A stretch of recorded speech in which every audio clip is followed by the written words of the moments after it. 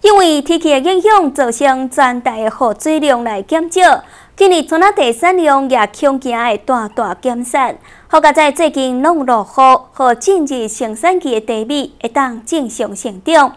但是雨水量落甲无平均，包括供顺价现象也是真严重。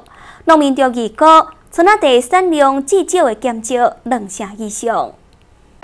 村地已经开始枯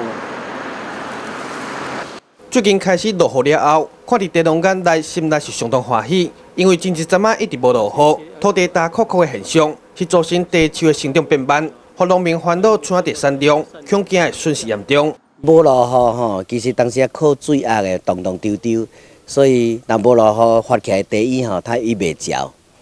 阵做地农要采收嘛，是共一丛内底可能嘛是不规烟啊，安尼安尼喷喷安尼吼，所以袂当遐焦。啊，即摆落雨了吼。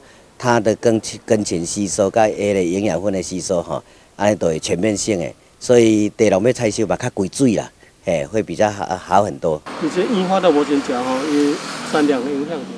虽然即阵仔开始落雨，不过雨量太过少，土巴只要落无淡，会当讲是无任何帮助。就算挖苦喷水，嘛无法度完全解决问题。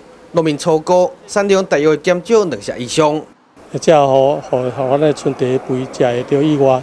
有通啊紧来补牙，但是有诶牙补了无无真结成，啊安尼安尼叮叮当当，较较较无法度讲当当时发，所以产量应该去受到影响。因为即阵啊，当咱较早拄打个了下基肥吼，都是咧等即阵吼，嘿啊让根茎充分吸收营养分，所以应当是对即回采收的收获量啦吼，啊个品质都会提升很高啦。这几年来气候变化多端，严重影响地米收成。对着雨水不足的问题，地农就希望天公伯会当斗三工，啊无欠水现象持续恶化，毋但是民生用水将开始限制，上头听也是看天食饭的农民。记者王祖如长报道。